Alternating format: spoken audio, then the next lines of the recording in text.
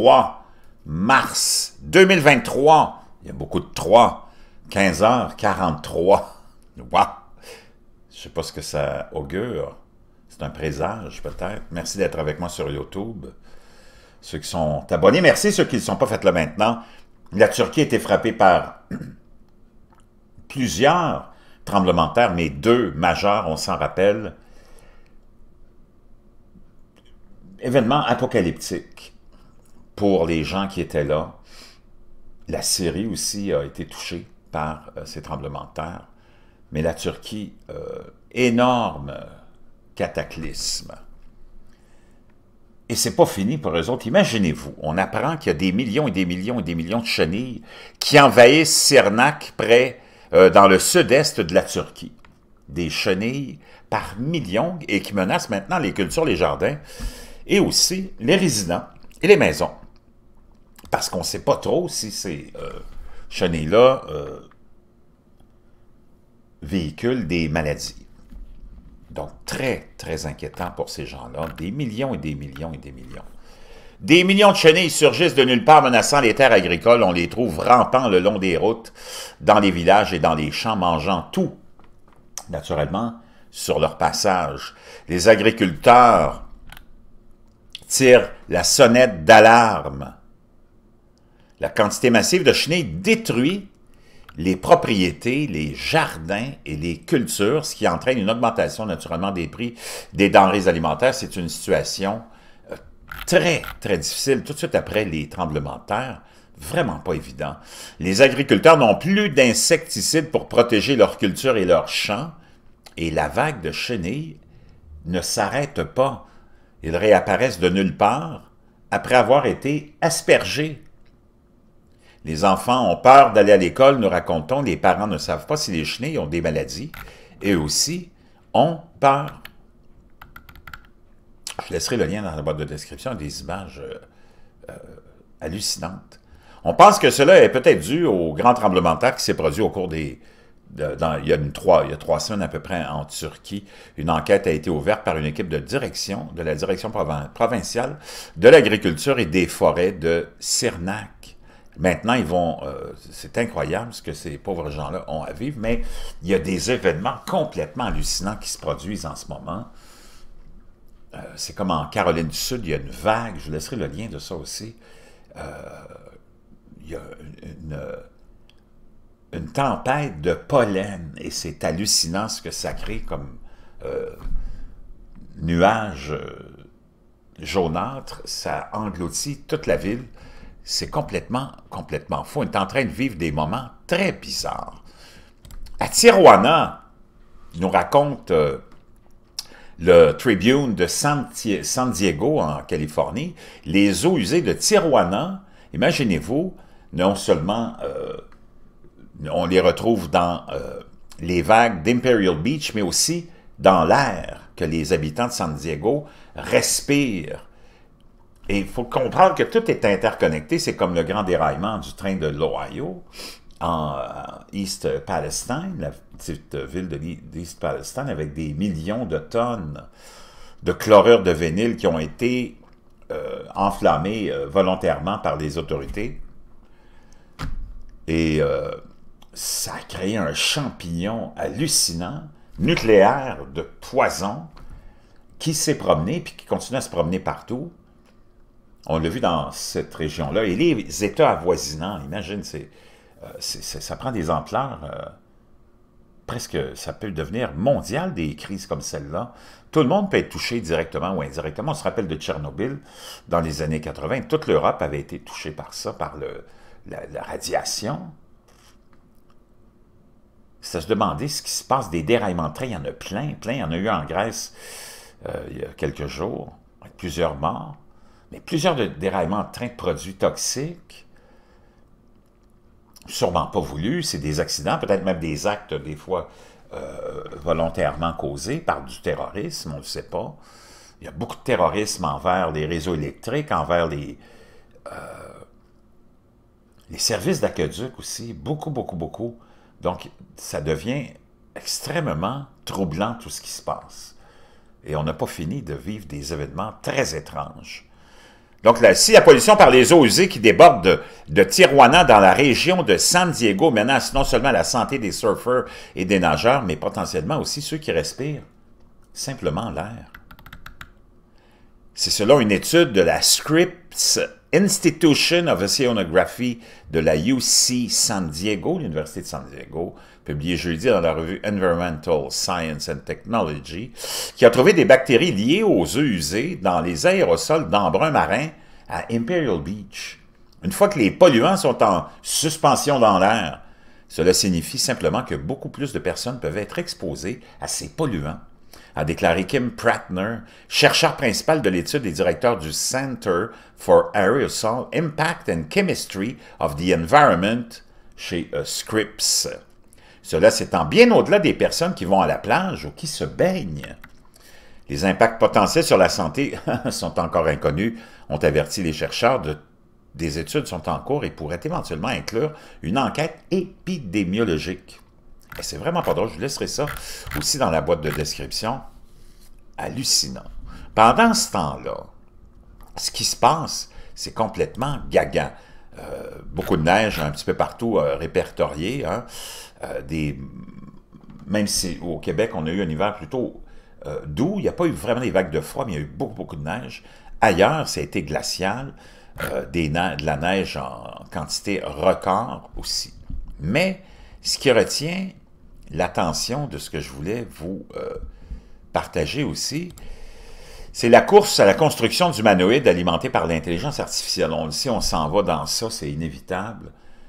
Les efforts qui sont mis là-dedans pour connecter le cerveau avec l'intelligence artificielle, le cerveau humain, la robotisation, l'intelligence artificielle, les, les algorithmes partout pour contrôler tout ce que tu peux imaginer.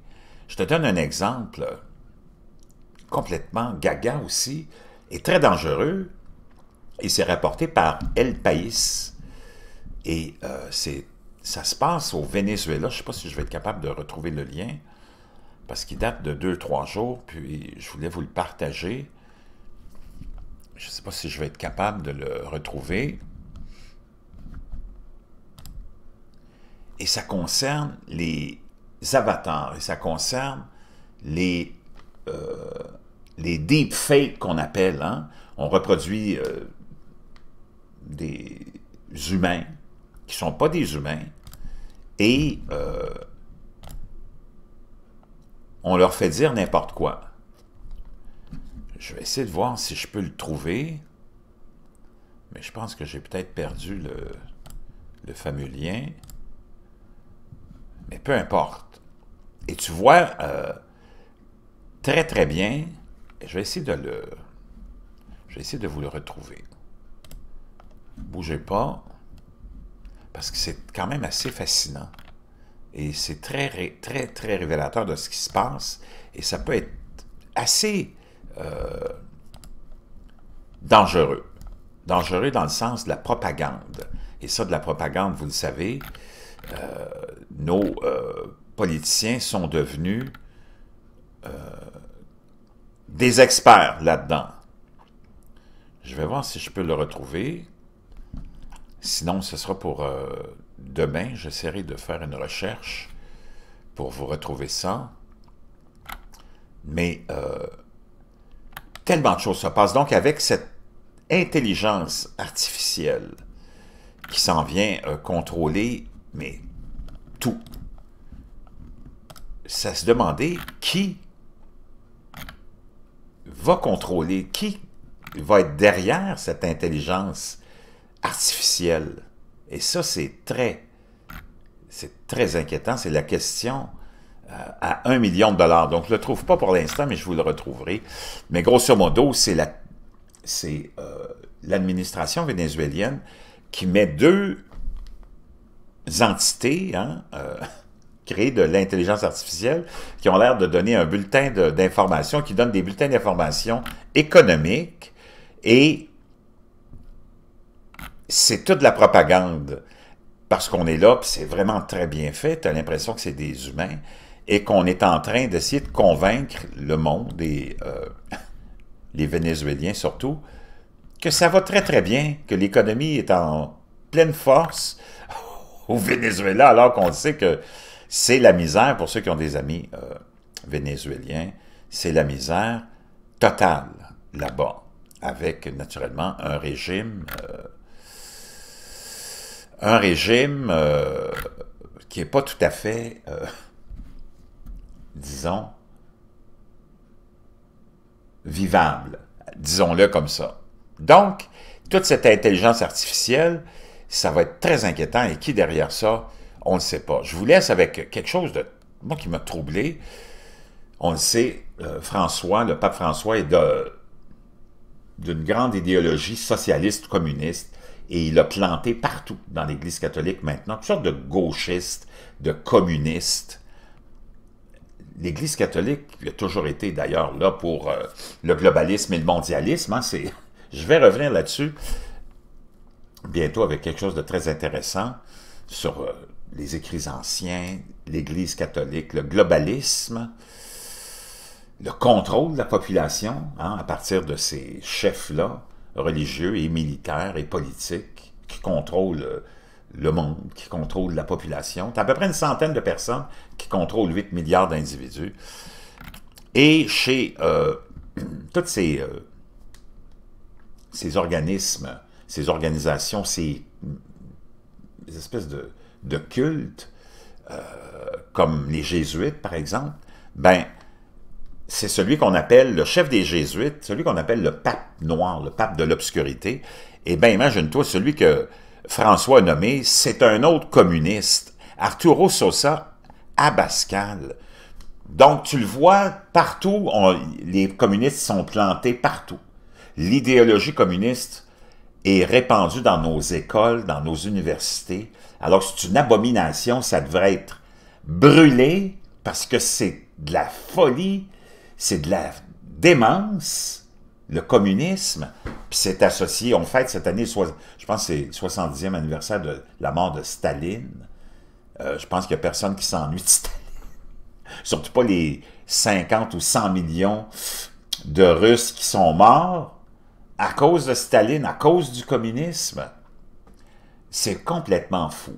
Et qu'on soit en train de planter, puis l'Église catholique est devenue complètement, on le sait, ça a toujours été un outil, euh, depuis toujours, à coquiner avec l'élite de tous les temps, parce que c'est là pour ça, pour contrôler la population, pour laisser le pouvoir entre les mains de quelques-uns pour mener et contrôler une population et lui dire comment vivre. Mais là, on le fait de façon... Euh, sans vergogne. Imagine-toi, c'est un gars, ce, ce Sosa-là, Sosa Abascal, ses, ses, convictions communistes sont connues depuis longtemps.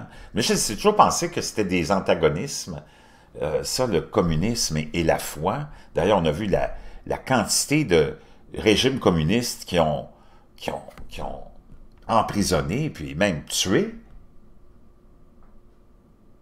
leurs citoyens qui avaient la foi, parce que qu'est-ce que déteste le plus un gouvernement, un politicien, un élu, c'est d'avoir de la compétition dans son pouvoir. Et des citoyens qui ont leur foi, puis qui mettent leur foi dans Dieu, ou euh, peu importe ta foi, ça vient en compétition avec le politicien qui, lui, veut être, en, veut régner en suprématie. Et c'est pour ça que tu as vu beaucoup, beaucoup, beaucoup, beaucoup de croisade envers les croyants dans tous les régimes communistes. Puis que tu te retrouves avec des communistes plantés dans l'Église catholique, c'est comme, wow, t'es pas loin du satanisme, là. Sosa a écrit sur la méditation marxiste de la foi chrétienne, affirmant que l'Église devrait comprendre l'existence de chrétiens qui se disent marxistes. Non. Et, pardon, s'engage à transformer pardon, la société capitaliste, ça me fait même étouffer, là, en une société socialiste. En 1989, il signe une lettre louant Fidel Castro, qui a torturé puis assassiné ses opposants politiques. C'est connu. Puis qui a régné pendant 60 ans en tyran. Puis t'as le chef des Jésuites qui loue Fidel Castro. Ben, coudon, c'est vraiment le monde à l'envers. Euh, je, je suis plus capable. J'en peux plus au vite un nouveau pape, au plus vite, un, même si j'ai aucune, aucune affiliation et affinité avec l'Église catholique malgré ma foi, parce que c'est un organisme humain qui est là pour contrôler l'humain, au plus vite qu'on nettoie, puis que ça devienne indépendant le plus possible, surtout d'idéologie comme le marxisme. En tout cas, je laisse ça dans de description. Euh, ça aussi, c'est une mauvaise nouvelle. Qu'est-ce qui se passe en ce moment? C'est vraiment pas drôle. Préparez-vous. Le totalitarisme s'installe.